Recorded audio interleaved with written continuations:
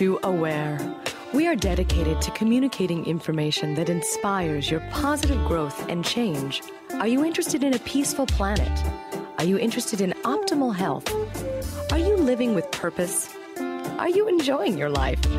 We realize each person can make a difference, and our mission is to empower your awareness. The choices that you make in every moment shape your life, and we encourage you to realize that you have your own answers and to always listen to your own truth. We invite you to stay aware. Hi, I am Lisa Garr, and welcome to The Aware Show. I am so grateful that you are here today. Some of the dangers of systemic racism have really caused people to ask, you know, what can I do to make a difference? And that's the right conversation to be in. However, it is not a one step process, it is not a one day, one parade process. This is a conversation that has ignited a daily process of change. And it's time it's time, which is why we are having this conversation. And we have in this incredible series with my incredible guest, Lisa Nichols. And so, what we're talking about today is one of the systemic problems is the school to prison pipeline and prison reform. Now, in order to change an entire system, we need to become aware of the system. And understanding and interrupting this system is how we become aware of it and start to create change. Lisa is that change leader. She's a change leader, mm-hmm. she's a catalyst, she's a transformational leader, she's in a beautiful, amazing soul.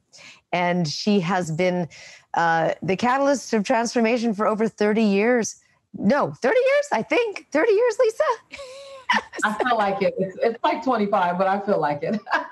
25 years, 30 years, 30 million people. That's, that's what I was just thinking in my mind, but so right, much right, more. Right. It's growing every day. and it's growing so much more. We we were just talking, Lisa, about, you know, you had really been teaching an enormous amount and you were really looking to settle into your teachings a little bit and let them carry on themselves with motivating the masses and speak and write to make millions and all that you have spent your life's work on. And you were trying to just settle in. And then the world opened back up again, and your voice is needed more than ever now, which is a calling that you're answering because of the transformational nature of who you are. But how are you feeling today, these days, and how is your calling changing? Well, um, I feel inspired uh, on on many days. Uh, there are days when I feel frustrated. Uh, I feel encouraged. I feel encouraged more than anything. If you ask what's the dominating feeling, I feel encouraged.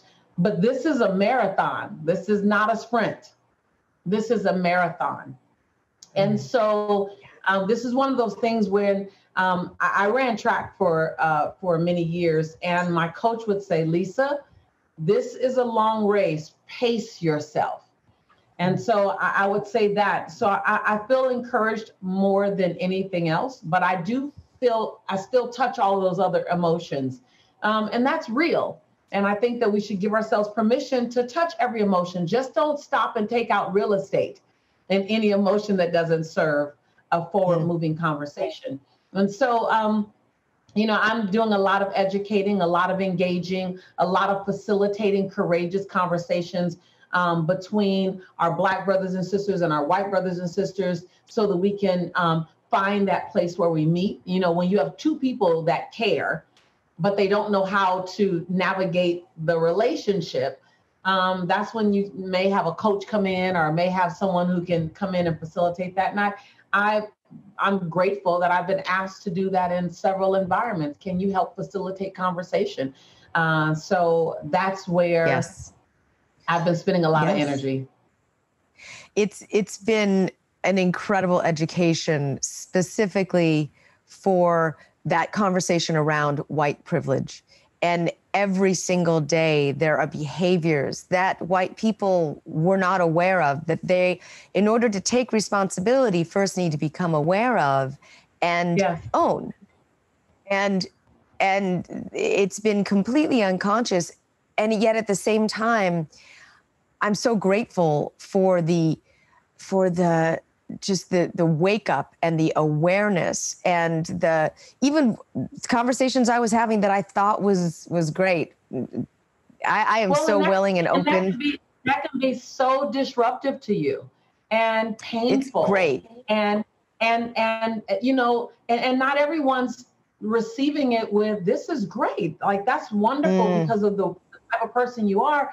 But if you look at the the nature of having something that was in your blind spot now made aware to you, and you're like, oh my God, that's been there all the time. How did I not know that? Yeah. You know, and then yeah. to see it attached to such emotion, the hurt and the anger and the oh. shame. To me, genuinely good people, white, black, Asian, Latina, people of color, genuinely good people don't want to hurt people, right? Right. And so when right. you see your brothers and your sisters, you know, uh, uh, of another nationality or of the same, when you see them hurt and you go, how did I not see this? So I want to just be mindful of the pain, a different kind of pain, a different kind of discomfort, a different kind of, of, of, of angst that some of our white brothers and sisters are going through because they are um, compassionate, empathetic, they're feeling, and so they feel it. Um, I want to acknowledge that because that's real. What we have a tendency to think, Lisa, is that if we acknowledge one person's pain, it discounts ours. If we acknowledge one person's compassion, it means we're not. And so I just want to, I want to first put, just put a, a stake in the ground to say, let's stop comparing hurt. Let's stop comparing okay. discomfort. You can't have the discomfort that a black woman has. Not possible. I can't have the discomfort that a white woman would have right now that really cares. I don't know what that feels like. And I, I mm. see the conversations occurring without the regard that I don't know what you feel like. And can we be okay eh, to, to agree to have two totally different experiences without it discounting the other person's? Yes. And I am so grateful for your gentleness because I am embarrassed to even ask some of these questions. I know. For spe- I know. Yeah. And I, I mean, I wrote a book called Becoming Aware, and I'm not aware of the difference in a lot of the the conversations that I, I feel uncomfortable with. And even talking about prison reform, I don't have the experience that, say, for example, you have with prison reform. And I don't know if I'm asking the right questions. So all I will right. do is I want to listen, I want to learn, I want to hear, and I want to act. So I appreciate that. And um, it's like this it's like we're in a family, right? We're in a family called the human family. And there's been an experience happening to a part of the family that it's been there. It hasn't been um, it hasn't been invisible. It's been there. Um, it's been happening. Uh, it, it, it's it's required people to yell and say, "Hey, stop! This isn't right." But then there's this other part of the, the house that the entire family is in. And this experience that part of the family is having doesn't quite make its way to the living room. It doesn't make its way to the dining room table. It's not allowed there. And all of a sudden, now the experience that part of the family's having is on the dining room table. And you can't even sit down for dinner without this experience being right in front of our face. And so half the family is saying, how long has this been happening? And the other half said, We've been trying to tell you it's been happening way back then. That's where you see all the anger and all of the rage and all of the hurt to go, This has been in our house. It's been in our house so long. Here's the opportunity. So many times people are asking Black people now about the experience. I want to say to my white sisters and brothers who care about ending any form of racism, who care about social justice. I am grateful for you. We cannot do this without you. What I'm going to ask you to do is to find out what are you curious about? and then go get the document, the documentaries, go get the books, go get the news flash, go get the things that can help you educate and go and educate yourself. And then when you come and we talk, come with some of that. So you at least have an idea of the question you want to ask. There's so much content out. I was just talking to a, a African American executive today who works at a Fortune 500 company, and she said, "What do you say, Lisa? How do you coach the African American leaders in corporate America who are exhausted about having the conversation because when their white superiors are asked to lead a conversation about social justice and cultural sensitivity, the white leaders are coming to the African American middle managers saying, Can you lead this conversation? Well, while we're happy to do that, what I want to invite you to do is also go do research. Go do research. Find the documentaries. I set this weekend, I looked at documentaries on Medgar Ever, Evers, and I looked at documentaries on Shirley Chisholm and Ida B. Wells. I looked at documentaries on Maya Angelou and and um, and Angela Davis and and Malcolm X and Martin Luther King. I looked at their juxtaposed position. I looked at the things that Malcolm X said about Martin Luther King. I looked at some of the things that were written about them both. I looked at the Nelson Mandela journey, even though he's from South Africa. How did that pair? I was educating myself so that I can fully understand it and and to not live in it, to not backstroke in it, but to be aware enough to go, I get it. Now, I, am writing a piece of poetry that I, I told you about before. I'm taking my time with it. And I said eh, to share with people what's happening now. When you see someone who's African American angry or frustrated and you see all it coming out, it hurts my heart to see it so much every day. If you ask someone, if, if one of my white sisters or brothers said, Where is that coming from? Why is it so intense? Then I'll tell you this, because I've been really studying this, Lisa. You see the anger and you see the hurt coming from the exhaustion, mm. like the exhaustion of the longevity of the same conversation. And so it's like I cry my grandmother's tears and I feel my grandfather's angst. And mm. one of the things that makes In Choose Peace so powerful uh, and other um, uh, likened conversation is that you bring us to a place of completeness when you say, I understand this, I understand this, I get this, I get this, and I understand this. That I understand. Now, yes how do we move forward from here? When you do that and that does require you to take yourself out of your shoes and put yourself in my shoes through learning and through awareness yes. and through study. You are understudied. You're understudied. And yes. we're over experienced and we're over experienced yes. And so we yes. want to bring that chasm together a little bit by your studying and then we kind of end the experiences Yes, yes.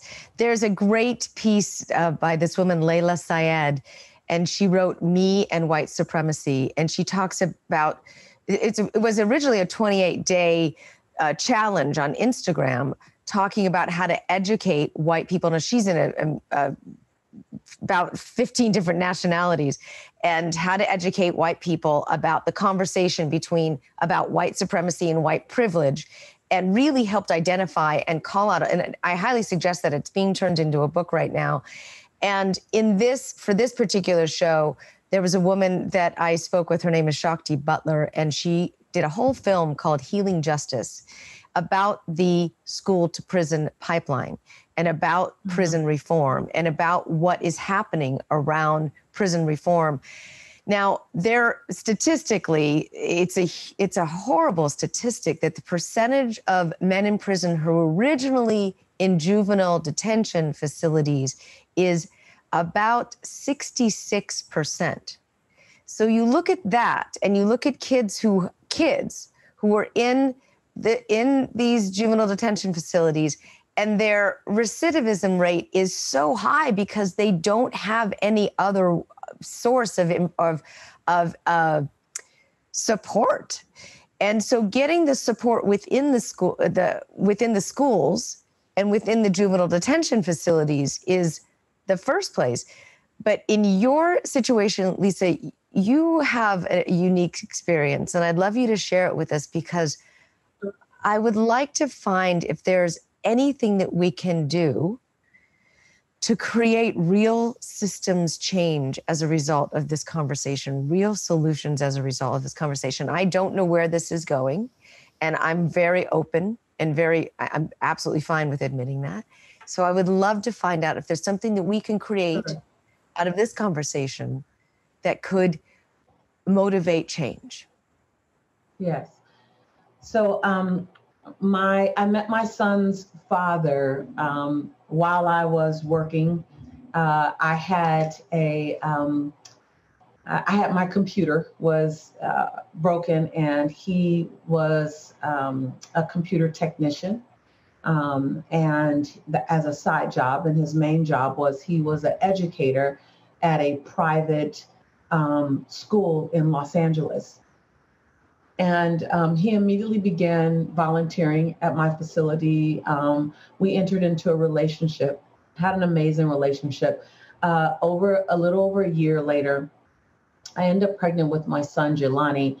Um, and um, I remember he coming from South Central, coming from the community. I would hear things he did when he was younger. And and I was very clear. I said, I don't do anything that's against the law. I don't do anything. And and he was very committed and very charged. And and um, when my son was born and my son was eight months old, I got a phone call from him.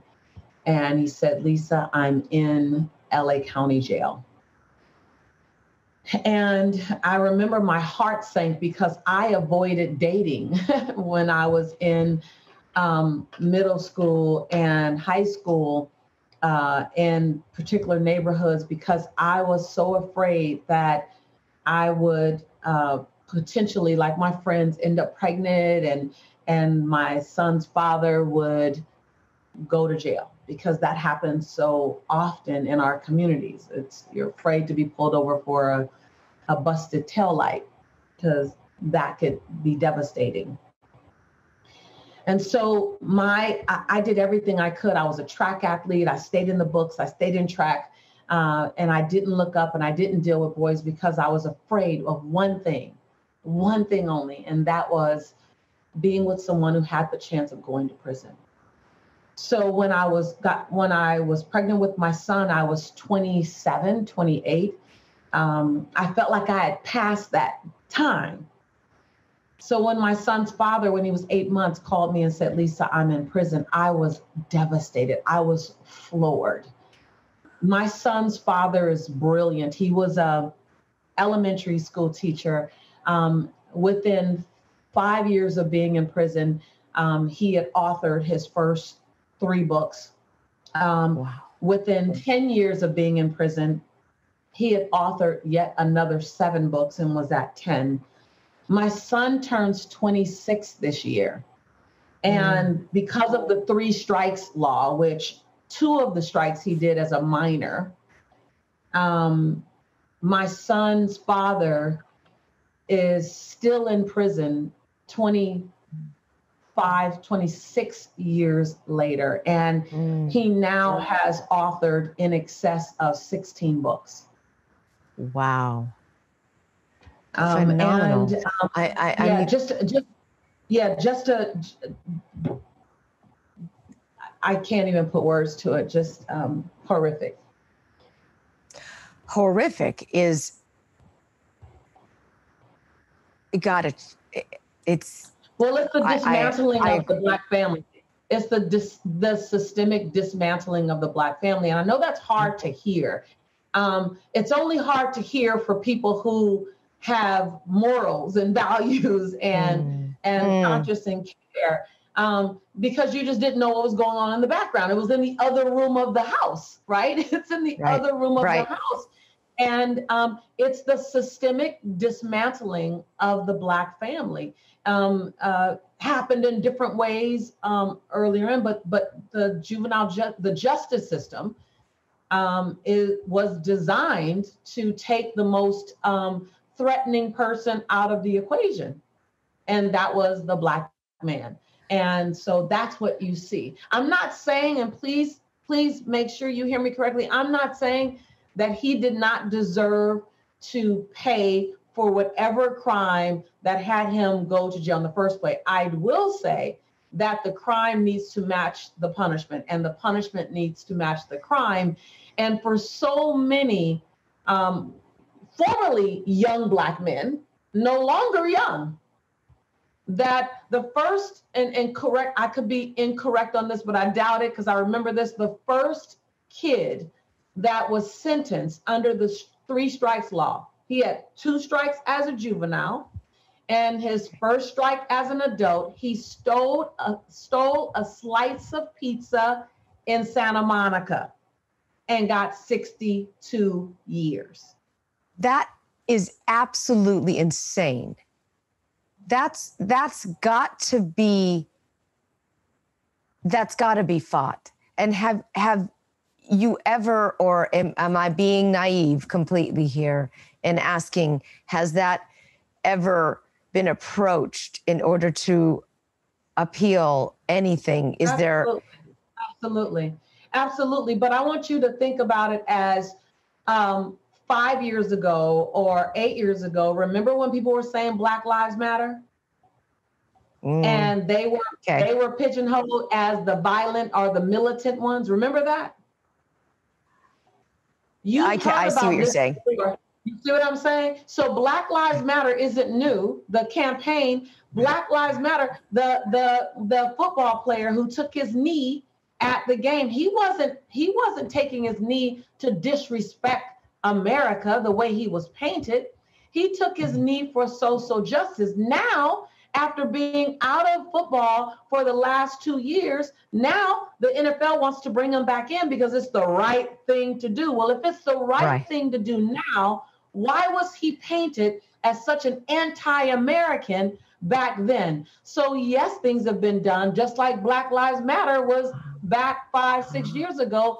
It's uh-huh. just that no one saw it again happening to the family in the house in the other room and then we wonder why are people angry? Because how did what happened now that now made it okay for it to no longer be okay where we could have saved a few hundred people back yes. then so I'm, I'm not i'm not i'm not putting fire on the anger. I'm just saying if we can have more compassion for it then we can help diffuse it so we can move on. And so the short, long answer is yeah, people have been fighting against reform. People have been um, campaigns, organizations um, uh, fighting against the movies. three uh, strike. Yeah, movies. Mm-hmm. Like it's been mm-hmm. so much. Let me just tell you when change will come. And, and I, I'm, I'm going to be quite honest with you, Lisa. It doesn't make me happy to say this because coming, coming um, from an African American perspective, the constant conversation is I matter. I matter. Right? That, yes. that's that's what we're saying, right? And in this case, yes. Black Lives Matter, which by the way, when you hear someone say Black Lives Matter, don't make it mean your life doesn't. Right. Yeah. That's where yeah, the no. argument comes into play, and it's incorrect. Bl- saying Black Lives Matter does not mean Asian life doesn't, Indian life doesn't, Latino life doesn't, white life doesn't. It simply means can you acknowledge and treat me as if my life matters. So I just want to say that. Um, and then um, understanding that, and I, I said I, I, it, I don't want to say this because it hurts to have to say this, that as an African American, I would love to be able to influence change on uh, for my culture by myself. I'd love to have you with me, and if you're not, I'd still love to be able to do it. Right. So it's a very sobering frustrating experience, but it's true to know that social justice reform, systemic change, and anti racism moving forward can only happen when our white brothers and sisters join the charge. It can only happen then because you're sitting at dinner with the person who who governs that bill. You're you're you're going to a family reunion with the person who who can actually make change in the system. As hard as it is for me to say as a black woman, And I'm not saying I don't want your help. I'm saying it hurts that I can't get it done on my own. I can't get it done. Mm. I, I, I have to, I have to mm. reach across the space and go, help me, help me with the thing that in many cases, your nationality has been the hands to produce the harm with. Right, I'm right, just, right. to be honest with you, and that's why yeah. some people they don't have the conscious listening or the compassion or the capacity to get there yet. It, it's it, we want people to get there because it's been two months. No, it hasn't been two months. It's been 400 years. It's been my right. mother and my grandmother. My grandmother is 91, Lisa. My grandmother said, "Baby, I feel bad. I thought that I thought that you would have had it different than me, but I guess it's still still the same. And so when you have mm-hmm. that, um, we we then have to create the path that allows mm-hmm. us to to understand. And so um, I'm a little bit of everywhere. Um, as you can see, I'm passionate about. It. I hope that I, it's making sense. Yes, absolutely, it's making sense.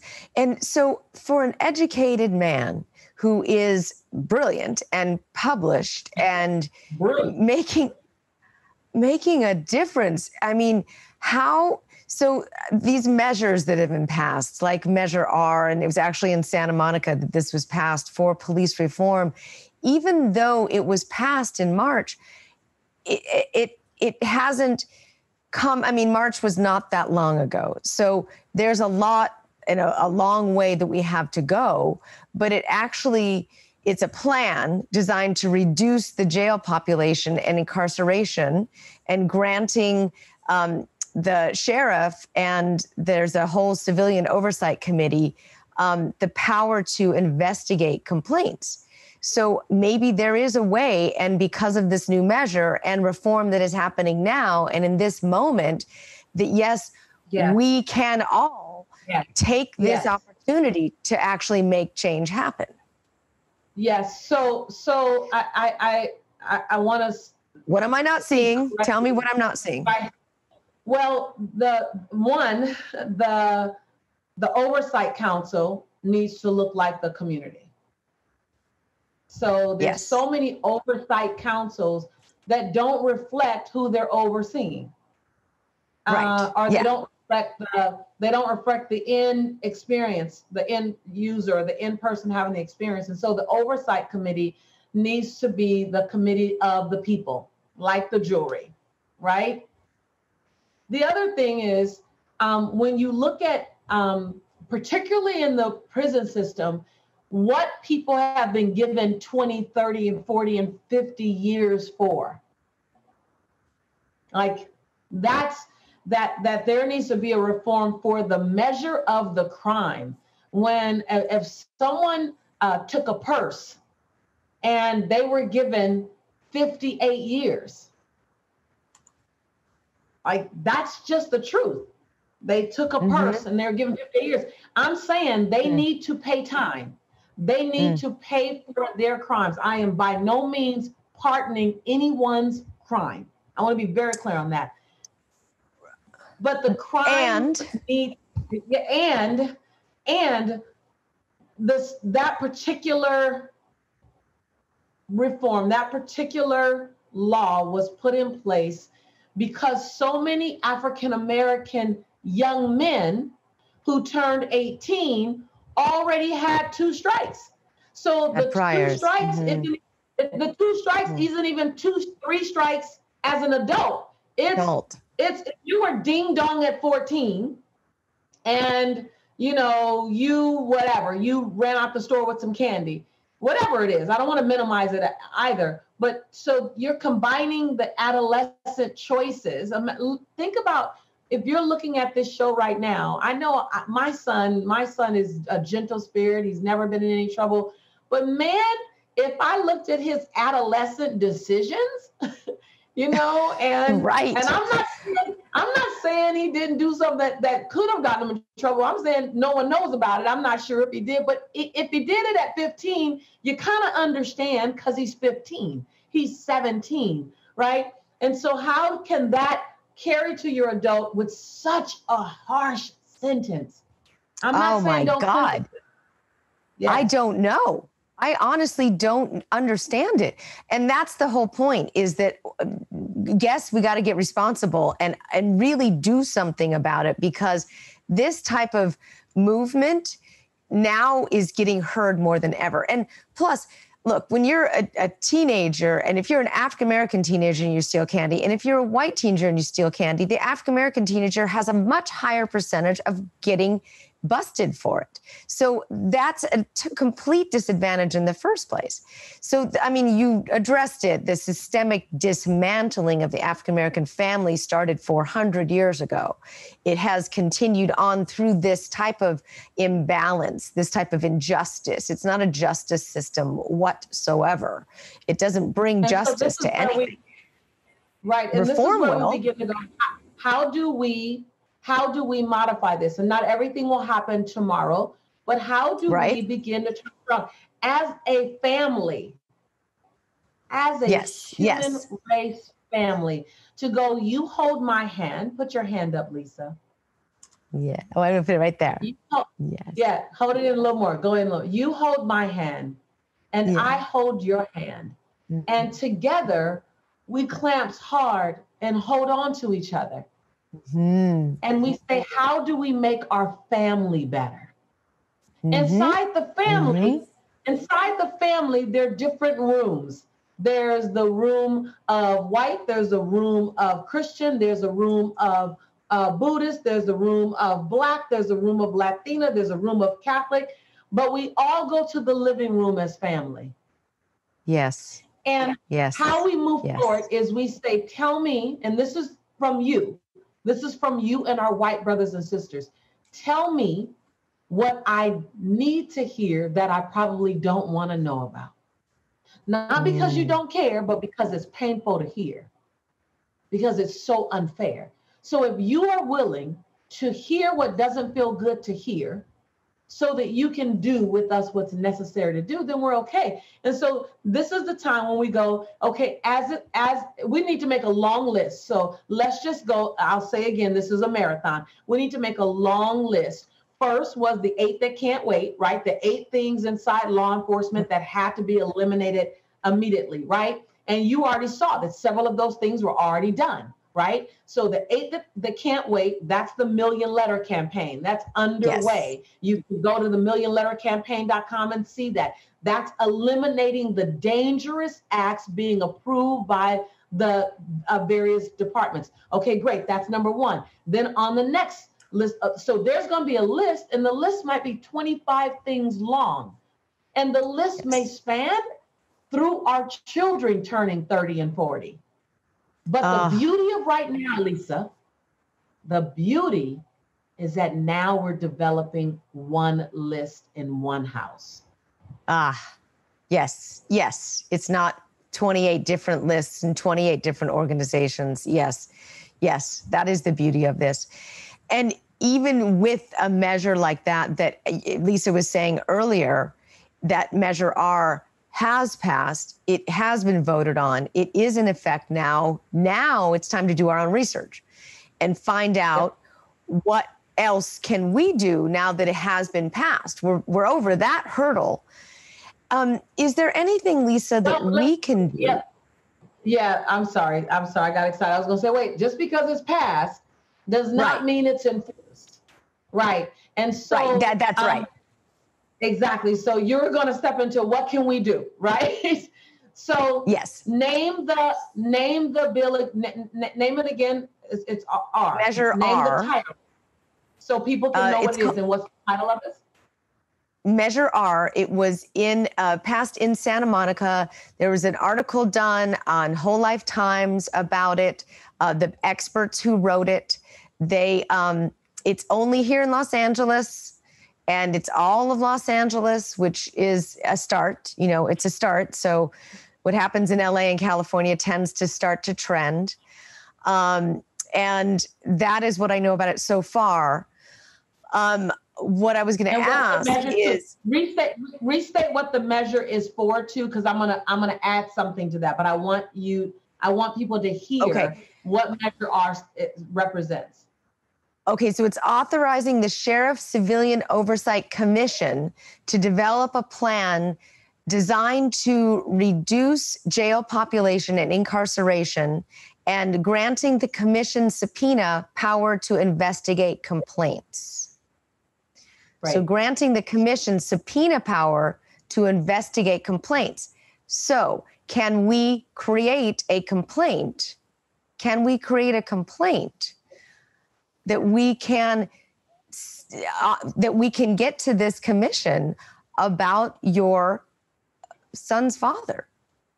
Well, the first thing to do is to um, because I, I am not in it just for while while I would love uh, this brilliant man to ha- to to he should have been out a long time ago. Um, yeah. While that I want to I want to make sure that I keep it um, uh, widespread for someone else's son's father yes. as well. And you know and and and and I, yes. I thank you for that offer. And and and i've been waiting 26 years to see if this man can author over 17 books and be the leader that he has been inside um, this institution. Who can he be out um, I, I also want to speak for every person who has gone in i, I think our letters should be in twofold. I, I, and it, they should request two things. Number one, that the oversight committee be a committee that that reflects the people that they're protecting. So the over uh, uh, the people that they're speaking on behalf of. So there's some diversity. Let me just be real real clear. There needs to be some diversity and not one token, not just one black token on the committee to say we have diversity. But it should look like if it's if if if the the in Los Angeles, if it's 78% African American, then the oversight committee should be 78% African American. If it's 78% of color, then it should be 70 just fair. Just uh-huh. it looks like it looks like the people that are speaking for it. That's number 1. So we should request that. And number okay. 2, we should form the complaint that everyone there under the three strikes law, everyone, they're under the three strikes law for non-violent crimes. Okay. That their case be challenged for release. Now, okay. the majority of them are now over 50. They're uh, definitely over 45. Wow. So they're known now to cost the prisons more because they're uh. needing medicine, because they're needing, you know, that they have ailments. And so the drain on our our fight, our political, our, our prison system's finance is even greater because we have so many people back in the the uh, late 90s, back in the early 2000s, charged with non-violent three strikes you're out crimes, and they've been in there forever. About eight years ago, I don't know the exact uh, the exact length of time, but about eight years ago, um, they began to challenge uh, the reform, the whole three strikes you're out law, and they deemed that it was unfair. And they begin to they began to release okay. some people, but then it slowed down. And so, really calling for the three strikes uh, law to literally be analyzed, every single person. So, to me, letter campaigns are powerful. Call campaigns are powerful, but calls disappear. Letters don't. And I know letters are, are, are old school and they almost feel like they're new to us because we haven't done it in a while. But really, as a community, going, hold on. If a young man at 19, 19 years old made a mistake, he should not get 50 right. years um, yes. for a nonviolent yes. crime where he was like he does not seem to pose a threat to society. And so um, I, I, would I would highly recommend um, I would recommend that. And um, and and while I, I want the personal attention to my son's father I want every man that's lost their freedom um, and a portion of it they gave up based on their choice but another portion they gave up because they were black. I'd like them to have a chance. That is absolutely true. That is 100% true Yes, a portion was their choice, and a portion, the majority of it, is because of the color of their skin. Yes. And so in this, in this, as an example, is how reform is starting to change. It's now the time to have this conversation, just like you were talking about. Three years ago, it was just a conversation. Now it's an active, active movement, and anything other than movement is unacceptable. And that's what we're in. The, the conversation now has changed. In my opinion, it has changed and it's not going away. So we can do something about the three strikes law as juveniles that we can actually make a difference and change. So that's what I'm that's what I'm looking at is how we can and especially for the nonviolent cra- crimes how we can make that difference. And I'm going to find information out about this. Yeah, that, that was going to yes. say the first thing uh, the first thing for us is to do our research because yes. um, the three strikes the three strikes law was challenged um, but the implementation and the enforcement of it that's where uh, and that may be more at a local level versus a national level or versus a statewide level to go, how do we impact and who's the decision maker to decide okay is that the warden is that the commissioner is that the like who is that that has that local influence i know that very few people have challenged it it's almost like when something happens to an african african american man and he goes away we just kind of go, oh, there's his life. Like it's it's it's um so finding out what does that look like and what's that step and then putting that on our list. You yes. know that this list this list is going to cross a multitude of platforms. This list is going to cross real estate. This list cross the educational system and the resources, academia. Yes. This, this yes. list cross social services.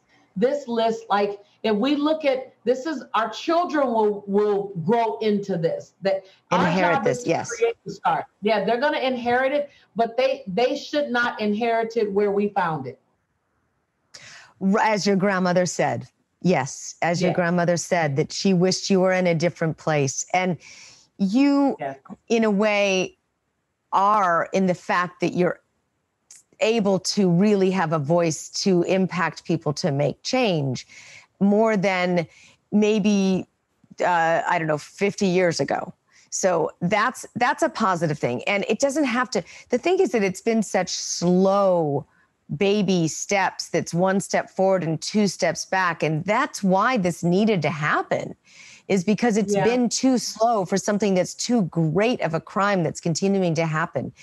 I have yeah. heard about some additional police reform programs that are being implemented, and they're mostly having to do with community organizations that are indigenous to the actual uh, communities that they're coming from. And those communities are starting to create task forces from and out of the community, community leaders that are then starting to integrate with the police force in that particular area. So I've that some of the defunding is going towards new programs like that, which is absolutely phenomenal. It's going towards programs of um, of social working and of uh, of child development, which is absolutely needed. So we're getting the tides turned, and this is this is happening, which is in neighborhoods around around Los Angeles. This is happening here. I know that the nation is catching up and is got their own particular reforms. But what we've been and you and I have been talking about over these last several shows, you mentioned the three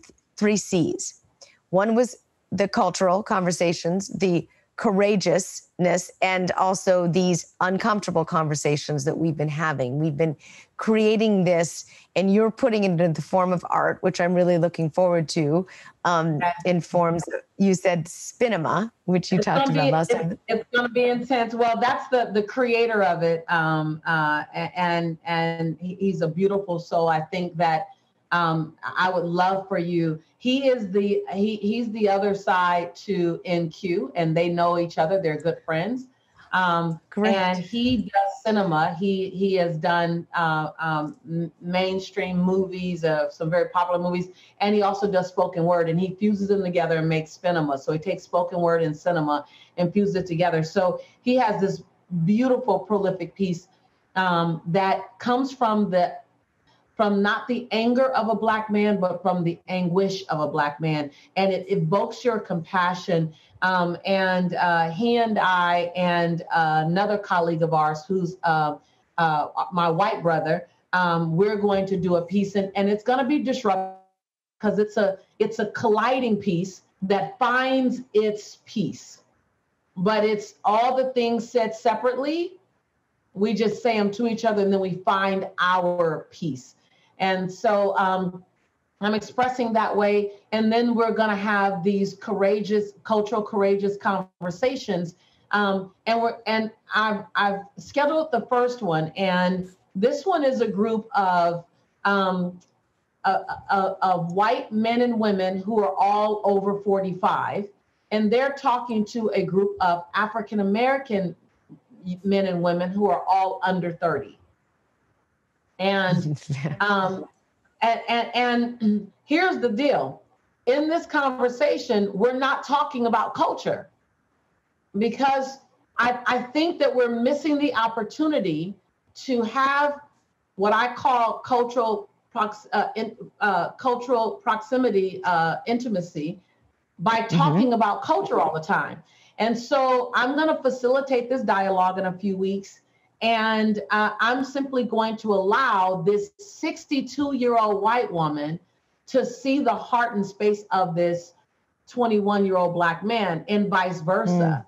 Mm. And mm. it's not like he's it's not like he's on study for her to study him. It's that they're in, a, in an intimate exchange to see each other. And so uh, I'm going to start these virtually online, and I'm going to come back on your show when I have the first public date. This first one that I'm doing is private. Um, and um, then when I do it publicly, uh, we're going to come together and we're not talking about race.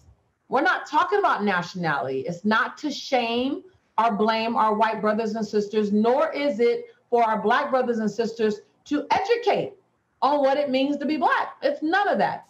It is saying, can we decrease our proximity between each other so mm-hmm. that we can build a human race relationship that we haven't had the chance to do before. So it's like what you and I have done. The reason why we can mm. sit here and there's anywhere we could go. That's why you don't need a script. I don't need a script. You never, because you trust me, I trust you because we've already had intimate cultural proximity.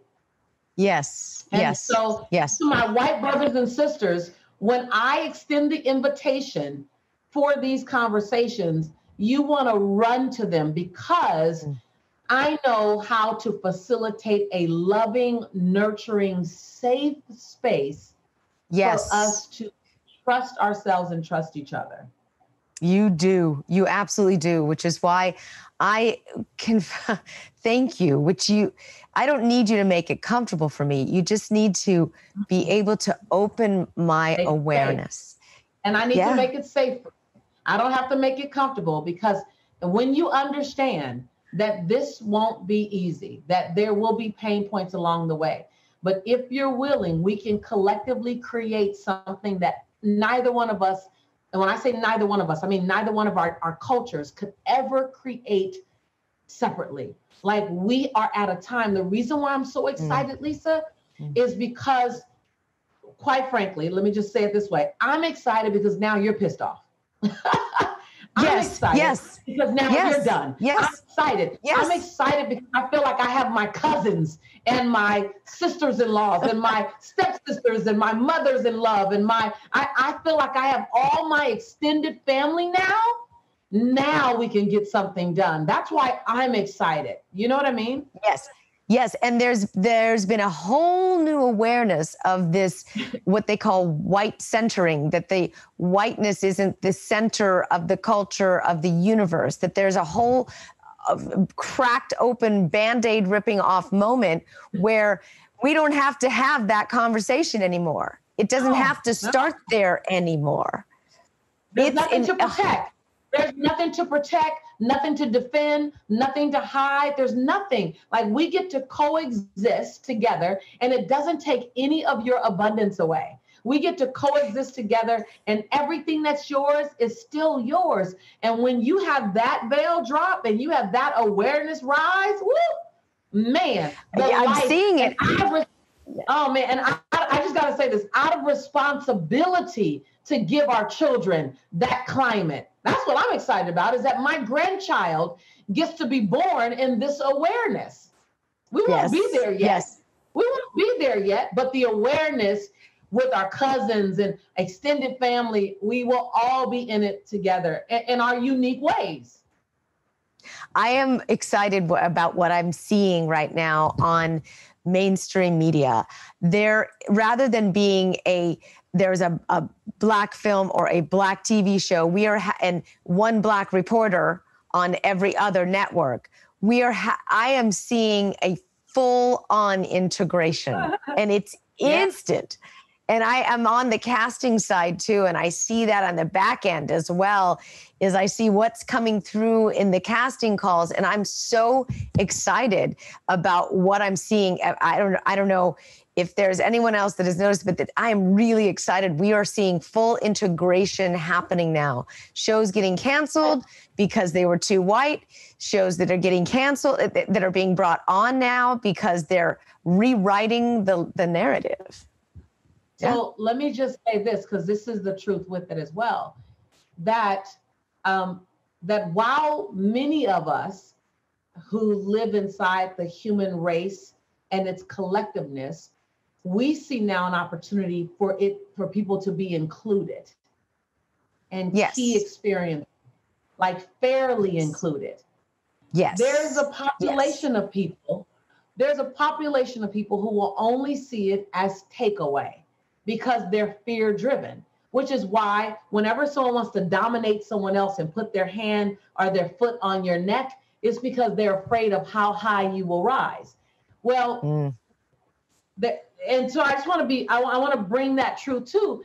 When, so there's going to be this rise as there's a rise of possibility, there's a rise of resistance and a rise of frustration, which is why all of a sudden, after 50 years, you're seeing all these hate crimes coming out again. You're seeing all this, you know, uh-huh. and so uh-huh. it's important for us to constantly say, this isn't a black against white thing. And I've had to say that on my social media when people were I've heard you saying that.